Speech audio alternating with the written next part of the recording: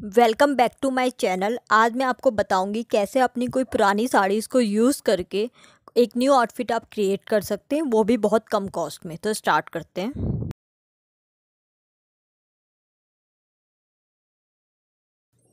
हमारा first sari option है बंदनी print की साड़ी है। इसमें all over same pattern use हुआ है और इसमें साइड में एक बॉर्डर लगा हुआ है, पतला सा बॉर्डर यूज़ किया गया है इस साड़ी में।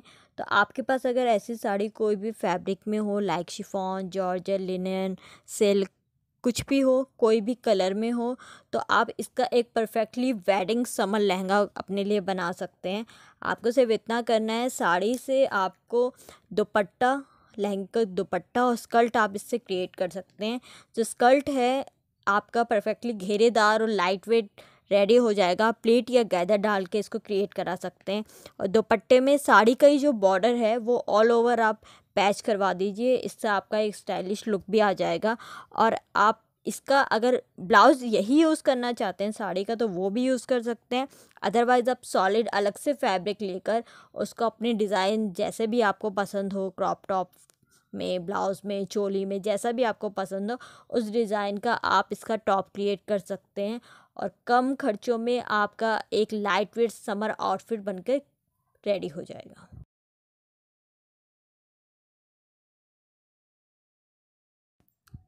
अगर आप नहीं चाहते इस टाइप का प्रिंटेड लहंगा अपने लिए क्रिएट करना तो आपके पास सेकंड ऑप्शन है अनारकली आप अनारकली क्रिएट कर सकते हैं। आपको स्कर्ट वैसे ही क्रिएट करनी है अपने लिए, जैसे लहंगे की की है। उसके अंदर आप लाइनिंग लगा सकते हैं कॉटन की, और लहंगे में भी आप लाइनिंग यूज़ कर सकते हैं कॉटन की। इसका आपको सिर्फ़ इतना करना है। इसके लिए आपको एक सॉलिड फैब्रिक लेना होगा, जिससे आप टॉप क्रिएट कर सकते हैं। टॉप क्रिएट करने के बाद आपको जो साड़ी के बॉर्डर्स हैं, वो आप इसके बॉटम की घेरी में यूज़ कर सकते हैं स्लीव पे यूज़ कर सकते हैं और आपको जहाँ पे आपका बॉटम और अपर अटैच होगा, वहाँ जहाँ पे सिलाई आएगी, वहाँ के लिए आप सेल्फ फैब्रिक की एक बेल्ट बनवाइए और उसको वही बॉर्डर आप उसमें पैच करा दीजिए। आपका एक Anarkali perfectly new trendy look में रेडी हो जाएगा। नेक्स्ट साड़ी ऑप्शन है हमारी सिल्क की साड़ी, जो कि बिल्कुल प्लेन है और इसका कंट्रास्ट पल्लू है, जो आपको दिख रहा होगा इमेज में और बोथ साइड इसका गोल्डन बॉर्डर है। ऐसी कोई भी अगर आपके पास साड़ी हो अगेन कलर फैब्रिक का कोई इशू नहीं है, आप कोई भी फैब्रिक कलर यूज़ कर सकते हैं, बस पैटर्न सेम होना चाहिए।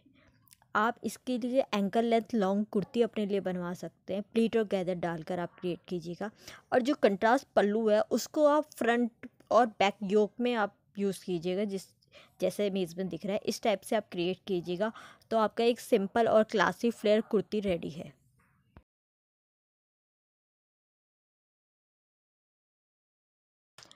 थर्ड साड़ी ऑप्शन हमारी सिल्क की साड़ी है। आप अगर इसमें इमेज में देखें तो इसमें बॉटम में ब्रॉड एक बॉर्डर है। और ऊपर एक छोटी छोटी बोटियाँ बनी हुई हैं। तो इस टाइप की आपके पास को, साड़ी हो, कोई भी कलर हो, कोई भी फैब्रिक हो, कोई प्रॉब्लम नहीं है। आप इस टाइप की साड़ी को, जिसमें ब्रॉड बॉर्डर है नीचे या बॉर्डर नहीं है तो प्रिंट है, इस टाइप का कोई भी पैटर्न आपके पास अगर है घर में तो आप इस टाइप की साड़ी का एक परफेक्टली लहंगा क्रिएट कर सकते हैं। पर आप जब भी इस टाइप के लहंगे बनवाएँगे, आपको ये ध्यान रखना है, आपकी जो स्कर्ट बनेगी इसमें प्लेट या गैदर डाल के बनेगी, कली में नहीं बनेगी, क्योंकि इसका एक नीचे डिज़ाइन है। अगर आप कली काटेंगे तो वो पैनल एक साथ नहीं लगेंगे। वो ये डायरेक्शनल है तो आप इसमें कली या प्लेट डाल के बनेंगे, तभी परफेक्टली होगी। अगर आप वैसे बनवाएँगे तो उसमें काफ़ी वेस्टेज होगी और परफेक्टली नहीं बनेगा। कुछ पैनल आगे पीछे हो ही जाएगा। तो इसके लिए बेस्ट यही है, आप प्लेट या गैदर डाल के इसको क्रिएट कीजिए। टॉप भी आपको उसी सेम फैब्रिक का बनाना है, जैसे जिस फैब्रिक का आपने बॉटम बनवाया है। और इसके लिए आप कंट्रास्ट कलर की एक दुपट्टा लेके इसमें कैरी कर सकते हैं, आपका परफेक्टली लहंगा बन के रेडी हो जाएगा।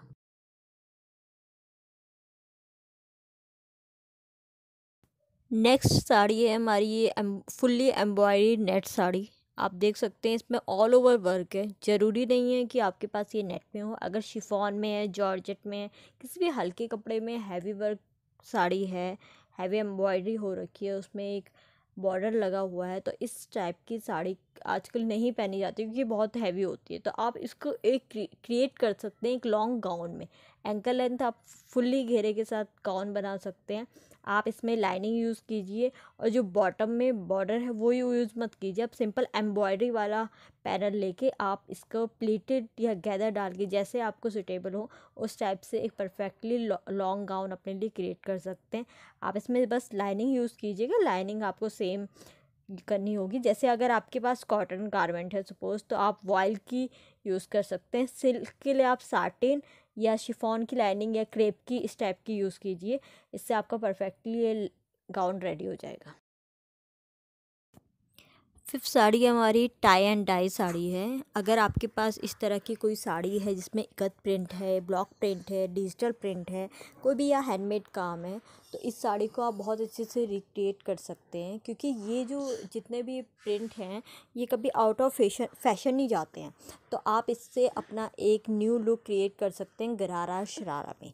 साड़ी हमारी साढ़े पाँच मीटर के आराम से होती है तो परफेक्टली इससे घेरा क्रिएट हो जाएगा। और इसको कुछ अच्छा लुक देने के लिए आप इसमें ट्रिम्स यूज़ कर सकते हैं, जैसे नेक में आप आजकल नेक के पैचेस आते हैं, बने बनाए, वो आप यूज़ कर सकते हैं। इसके बॉटम के घेरे में लेस अटैच कर सकते हैं तो आपका कम बजट में एक न्यू गरारा शरारा आउटफिट क्रिएट हो जाएगा।